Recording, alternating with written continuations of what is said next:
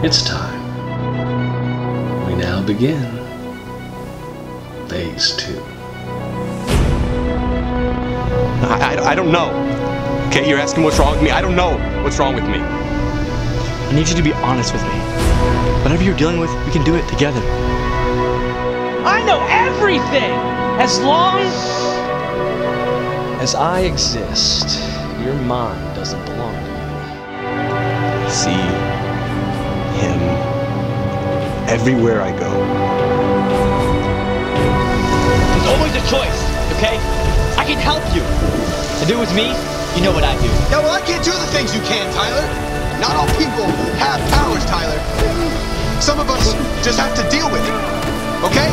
Some of us just have to deal with the crap that goes on in our lives.